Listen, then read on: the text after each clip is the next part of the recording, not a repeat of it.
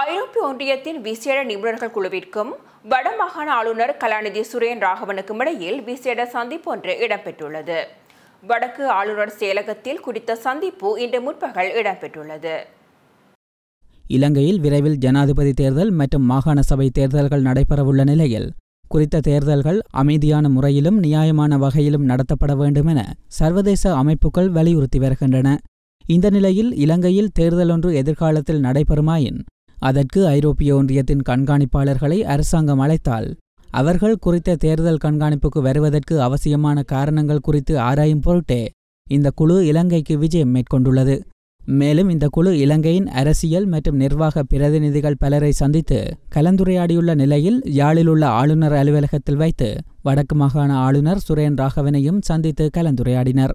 அத்துடன் குறித்த நிபுணர்கள் குழுவில் ஐரோப்பிய ஒன்றியத்தின் சார்பில் Ricardo Celeri Hans Weber Dimitra Pavel Jurczak மற்றும் லான் மில்லர் ஆகியோர் உள்ளடங்கியிருந்தமை குறிப்பிடத்தக்கது. இது போன்ற முக்கிய செய்திகளை உடனுக்குடன் அறிந்து கொள்ள ஆதவன் யூடியூப் சேனலை சப்ஸ்கிரைப் செய்யுங்கள்.